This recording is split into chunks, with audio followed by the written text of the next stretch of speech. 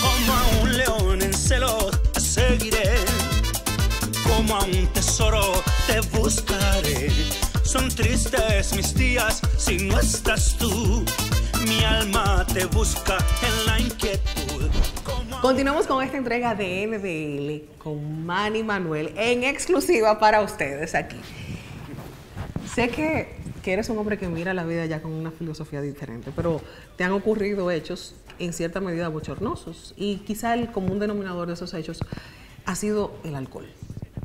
¿Te arrepientes de eso? Hablando de arrepentimiento, ya que venía de- del bloque anterior. Pues mira, claro, eh, eh, a nadie le gusta pasar por momentos, como tú bien dices, bochornosos o lamentables, pero de arrepentirse, pues mira, no puedo ser hipócrita, claro que sí, que hubiese cambiado la historia, pero a la misma vez la enseñanza que he dejado, la manera de ver la vida, eh, ha dejado tanto, tanto aprendizaje que pues mira, tenía que pasar por esto.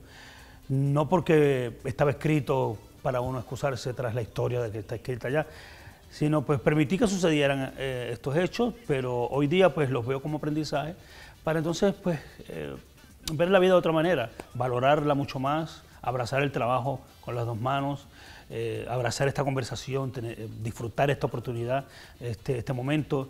Y sí, eh, cada segundo lo disfruto al máximo y lo valoro muchísimo. ¿Te llegaste a considerar alcohólico?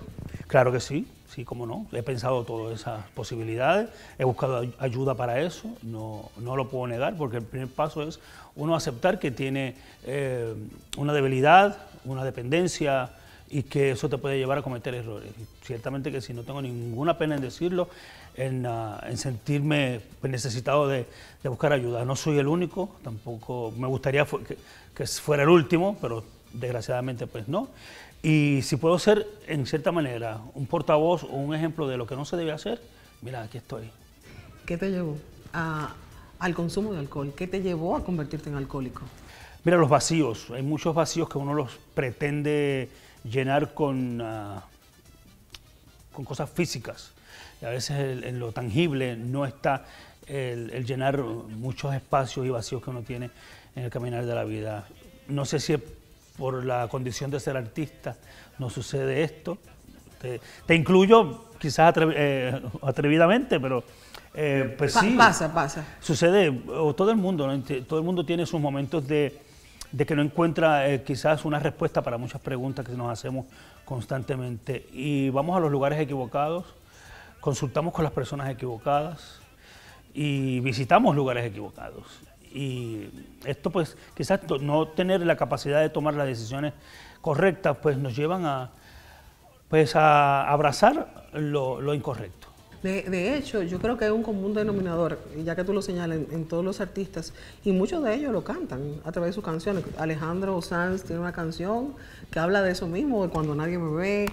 Eh, muchos le cantan a cuando salen del escenario y se encuentran consigo mismos, donde no está el aplauso del público, y se está solo con uno. Y llega no solamente el vacío, sino que también hay muchos procesos de, de depresión. ¿Pasaste tú por algún proceso de depresión? Claro que sí.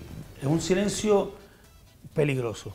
Cuando uno termina un espectáculo y tiene tanto aplauso, corea- eh, ¿no? coreando tus canciones, tantos abrazos, esa energía que tú recibes del, del público es maravillosa y es una adrenalina a un punto que es inexplicable en cierta manera. Luego cuando eso se acaba, cuando eso para, que cierras la puerta de tu habitación de hotel o la puerta de tu casa, el silencio es tan y tan poderoso como la misma energía que hace un, media hora atrás tuviste.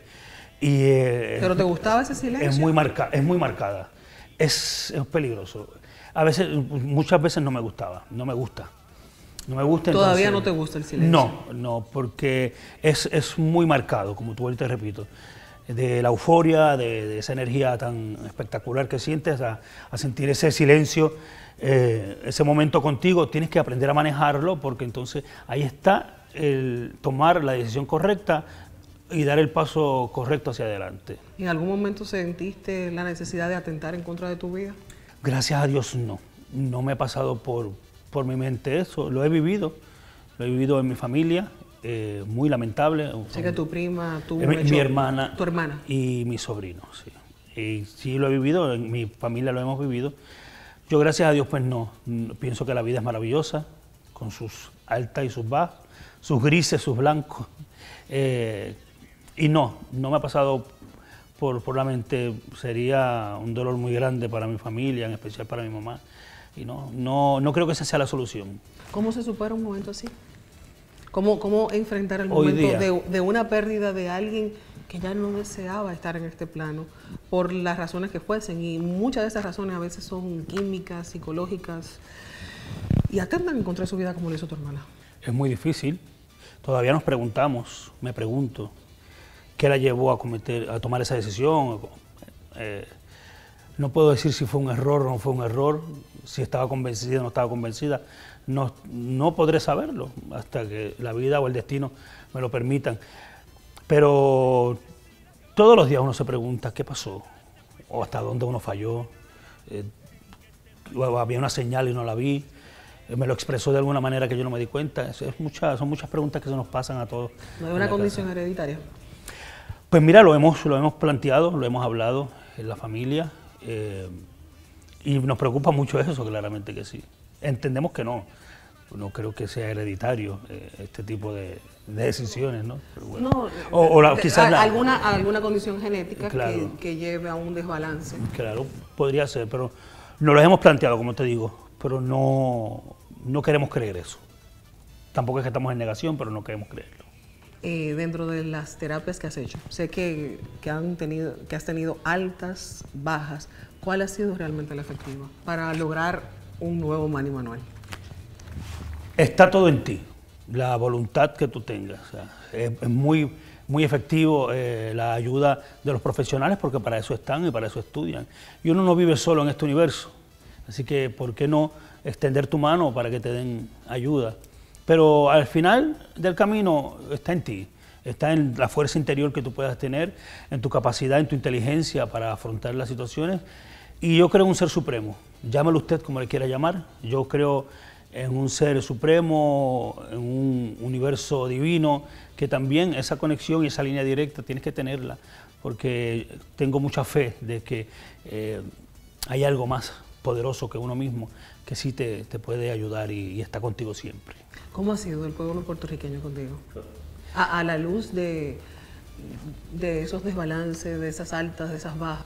Es indescriptible la palabra, de el amor que yo como ser humano he sentido de Puerto Rico y fuera de Puerto Rico, pero de mi país, el momento de yo llegar de dos meses luego del suceso en Canarias, poder presentarme en el Coliseo José Miguel Agrelot, sobre más de 8.000, 9.000 personas, que estén allí aplaudiéndote, coreando tus canciones, gritándote que te aman. Es una bendición, una bendición que en ese momento dije, Dios, tú tienes un propósito para mí. ¿Qué es? No sé, pero yo quiero ver esa gloria. Quiero verla y aquí voy a estar de pie y luchando porque yo quiero ver la gloria de Dios en mí. Y yo voy a luchar para eso. Amén. Definitivamente el alcohol no te quitó la voz. Oh. Pero, pero ¿qué te quitó? en algún momento una botella de alcohol de las manos? Eh, seguridad propia, eh, mi autoestima, mi valor como ser humano, mi valor como artista, ese amor que ahora mismo acabo de hablar de, tantas miles y miles de personas que me aman y me quieren, el pensar que eso no existía y eso es muy triste. Tú teniéndolo todo y pensar que no tienes nada. No, eso es imposible. ¿Te ves tentado? todo el tiempo, constantemente.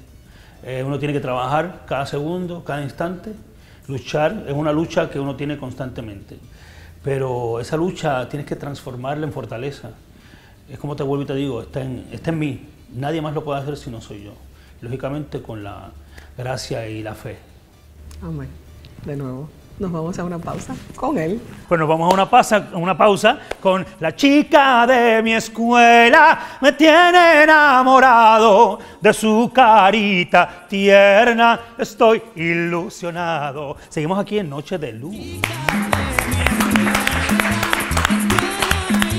En aquel momento pues entendí que ¿por qué no me lo dijiste en el WhatsApp o me llamaste? ¿no? no públicamente. Sí, no públicamente, pero nada, ya hemos hablado y ya pasamos la página, eso está todo aclarado. ¿Qué enseñanza te dejó ese momento?